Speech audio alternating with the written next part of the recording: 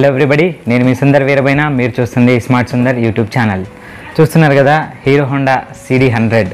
So ఇది ఇది ఎలా రీమోడల్ చేయించాను లేకపోతే రీమోడల్ ఎవరు చేశారు చేయించినందుకు ఎంత ఖర్చు అయింది లేకపోతే ఈ Hero Honda CD hundred bike ఎక్కడ దొరుకుతుంది దీన్నే రీమోడల్ చేయొచ్చా ఇంకేమన్నా వేరే బండ్లను కూడా చేయొచ్చా ఇలా ఒక బైక్ తీసుకొని దాన్ని రీమోడల్ చేయడం వల్ల లాభమా నష్టం అనేది ఈరోజు మీకు క్లియర్గా ఎక్స్ప్లెయిన్ చేయబోతున్నాను. వీడియో చివరి వరకు స్కిప్ చేయకుండా చూడండి. నా వీడియోస్ ఎవరైనా మొదటిసారి చూస్తున్నట్లయితే నా ఛానల్కి సబ్స్క్రైబ్ చేయండి. మీ ఫ్రెండ్స్కి ఫ్యామిలీ మెంబర్స్కి నా వీడియోస్ అన్ని షేర్ చేయండి. సో ఫస్ట్ ఆఫ్ ఆల్ మాట్లాడుకుంటే ఒక బైక్ని రీమోడల్ ఎందుకు చేయాల్సి వచ్చింది అంటే ఇది ఇది వచ్చేసి మనకి ఆల్మోస్ట్ డెడ్ కండిషన్లో ఉంది. డెడ్ కండిషన్ అంటే ఇంజన్కి సంబంధించి బోర్ చేయాల్సిన కండిషన్లో ఉంది. ఈ పార్ట్స్ అన్నీ కూడా ఆల్మోస్ట్ డెడ్ కండిషన్లో ఉన్నాయి.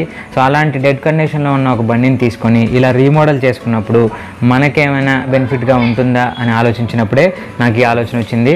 సో ఆలోచనే తడవుగా ఖమ్మంలో. సో నేను ఉంటున్న ఈ ఖమ్మంలో ఎవరైనా రీమోడల్ చేసే వాళ్ళు ఉన్నారా అని వెతికినప్పుడు రిలేటివ్ ఒక అతను ఇలా బైక్ని రీమోడల్ చేయగలని చెప్పి తెలిసిందనమాట. సో వెంటనే ఆయన దగ్గర తీసుకెళ్ళాను.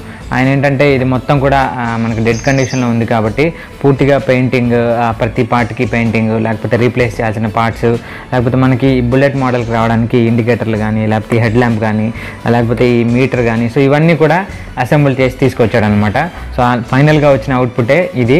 సో ఇది ఎంత బాగుంది అంటే నేను తీసుకొచ్చిన దగ్గర నుంచి కూడా ప్రతిరోజు ఎక్కడ బైక్ పార్క్ చేసినా కూడా ఈ బైక్ ఎవరిది ఈ బైక్ ఎవరిది అని అడగటం జరుగుతుంది. అంటే ఒక ఒక యునీక్ అండ్ ఒక రేర్ అలాంటి బైక్ అనమాట ఇది.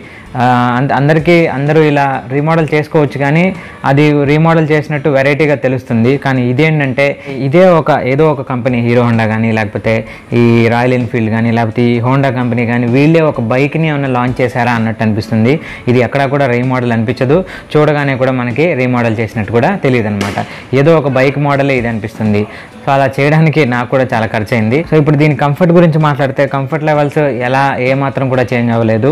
అంటే సీటింగ్ విషయంలో కానీ ఫ్యూయల్ ఎఫిషియన్సీలో కానీ లేకపోతే ఇంజిన్ పర్ఫార్మెన్స్లో కానీ ఇంకా అన్ని విషయాల్లో ఇంతకుముందు హీరో హోండా ఈ సిడీ హండ్రెడ్ ఎస్ఎస్ ఎలాంటి పర్ఫార్మెన్స్ అయితే చూపించిందో అలాంటి పర్ఫార్మెన్సే నాకు లభిస్తుందనమాట అయితే ఇప్పుడున్న పరిస్థితుల్లో మనకి ఫ్యూయల్ రేట్స్ అంతకంతకు పెరుగుతున్న పరిస్థితుల్లో ఇలాంటి బైక్ని ఒక రీమోడల్ చేయించుకొని లేకపోతే ఇలాంటి బైక్ని ఒక సిక్స్టీ సెవెంటీ మైలేజ్ ఇచ్చే బైక్ని రీమోడల్ చేయించుకొని మనం కనుక వాడుకున్నట్లయితే మనకి ఒక న్యూ లుక్ అనేది వస్తుంది లేకపోతే న్యూ ఫీల్ అనేది వస్తుంది. అలాగే ఫ్యూయల్ ఎఫిషియన్సీ కూడా ఉంటుంది కాబట్టి మనకి ఈ ఫ్యూయల్ కోసం మనం ఖర్చు పెట్టే డబ్బులు కూడా తగ్గుతాయని చెప్పి నేను అనుకుంటున్నాను. అయితే ఇంకో విషయం ఏంటంటే ఈ బైక్ నేను తీసుకున్న దగ్గర నుంచి మనకి రీమోడల్ చేయడానికి ఆయన ఖర్చు గురించి ఆలోచిస్తే ఖర్చు అనేది కూడా తక్కువేం కాలేదండి చాలా ఎక్కువైంది. అంటే నేను అనుకున్న దానికి నేను ఎక్స్పెక్ట్ చేసిన దానికి చాలా డిఫరెన్స్ ఉంది. సో అంత ప్రైస్ అవ్వడానికి రీజన్ ఏంటి అంటే ఈ అవుట్పుటే రీజన్ అంటే ఇది ఇది చూడగానే మీకు ఎలాగైతే ఒక ఒక స్పెషల్ ఎడిషన్ లాగా అనిపించిందో అలా స్పెషల్ ఎడిషన్ లాగా కనిపించడానికి ప్రతి ఒక్కటి కూడా కేర్ తీసుకొని వేయించడం జరిగింది. సో అలా వేయించినప్పుడు ఆ ప్రతి ఒక్క దానికి కూడా ఖర్చు పెట్టడం జరిగింది. సో ఇలా కాకుండా నార్మల్ ఇండికేటర్స్ వేయచ్చు లేకపోతే హెడ్ ల్యాంప్ మార్చకుండా అదే ఉంచుకోవచ్చు. లేకపోతే ఇంకేదైనా ఈ పెయింటింగ్ వర్క్ అంతా చేయించుకుంటా ఈజీగా మనకి రన్ అయితే చాలు బైక్ అనుకున్నప్పుడు ఇంజన్ ఒకటి చేయించుకొని ఆ టైర్లు అవి వేయించుకుంటే సరిపోయేది. అవి అయితే మనకి చాలా తక్కువ ఖర్చులో అయిపోయేది. కానీ ఇలా మనకి ఒక స్పెషల్ ఎడిషన్ లాగా కనిపించడానికి ప్రతి ఒక్క పార్ట్ మార్చి ప్రతి ఒక్క దాన్ని కూడా నీట్గా చేయడం జరిగింది. సో అలాంటప్పుడే మనకి ఈ అవుట్పుట్ అనేది వచ్చిందనమాట.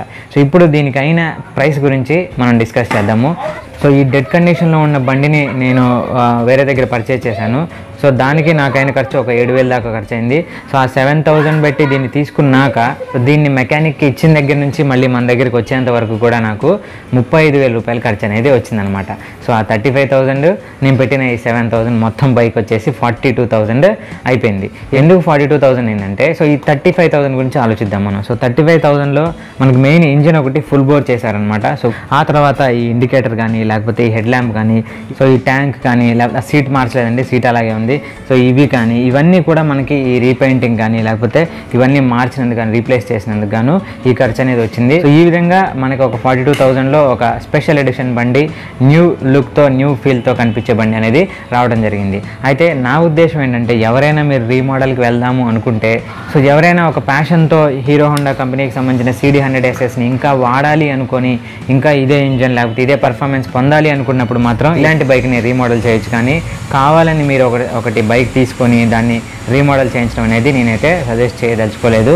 అంత పెడుతున్నాము అంటే మనకి two thousand seventeen two thousand eighteen నైన్టీన్కి సంబంధించిన మంచి మంచి బళ్ళు అంటే మనకి రీసేల్కి ఉంటాయి కదా సో ఆ బండ్లు వస్తాయి కానీ ఇది ఎప్పుడో టూ థౌజండ్ ఫైవ్ బైక్ని అంటే మళ్ళీ ఒకసారి రీబోర్డ్ చేయించుకొని ఇదంతా చేయించుకోవాల్సిన అవసరం అనేది వద్దు అని చెప్పి నేనైతే చెప్తున్నాను. అంటే నాకు అనిపించింది ఇదంతా చేయించిన తర్వాత లుక్ బాగుంది అంతా బాగుంది కానీ నాకైతే అలా అనిపించింది అనమాట సో ఇదంతా విన్న తర్వాత కూడా ఇంకెవరైనా వాళ్ళ దగ్గర ఉన్న పాత బైక్ని రీమోడల్ చేయించాలి అనుకుంటే ఎలా చేయాలి ఏంటి అనేది మన చిట్చాట్ గ్రూప్లో డిస్కస్ చేద్దాము. సో ఇదండి ఈ బైక్ కదా ఇది నేను వాడుతున్నాను వన్ మంత్ నుంచి వాడుతున్నాను. అసలు అయితే వీడియో చేయొద్దు అనుకున్నాను కానీ ఇంకెవరైనా రీమోడలింగ్కి వెళ్ళి ఎక్కువ డబ్బులు ఖర్చు పెడతారేమో అనే ఉద్దేశంతో నేను చెప్తున్నాను కానీ జనరల్గా ఇది ఇంకా తక్కువే అని చెప్పాలి. ఎందుకంటే ప్రతి పార్ట్ రీప్లేస్ చేసి ఇదంతా చేసినా కూడా నాకు ఫార్టీ థౌసండ్ నుంచి ఫార్టీ టూ థౌసండ్ వరకు ఖర్చు వచ్చింది అంటే ఇంకా మిగతా ఎవరైనా ప్రొఫెషనల్గా చేసేవాళ్ళు. ఇదేంటి ఏంటంటే ఈయన ఒక మెకానిక్ నేను చేయగలను అంటే ఆయనకి ఇచ్చాను నా రిలేటివ్ కాబట్టి. అలాగే ఇది కాకుండా అలాగా కాకుండా ప్రొఫెషనల్గా చేసేవాళ్ళు ఉంటారు రీమోడల్ రీమోడలింగ్ చేసేవాళ్ళు. వాళ్ళకి ఇచ్చినట్లయితే మనకి ఈజీగా ఫిఫ్టీ థౌసండ్ ఖర్చు వచ్చేదే అంటే వాళ్ళు ఇంకా ఇంకా నీట్గా చేసేవాళ్ళే కానీ కొంచెం ఖర్చు అనేది ఎక్కువ వచ్చేది అనమాట సో అంత ఖర్చు పెట్టి మనం ఒక బైక్ని రీమోడల్ చేయాల్సిన అవసరం లేదు అని చెప్పేసి నేను అనుకుంటున్నాను. So that's all for now thank you thank you for watching my video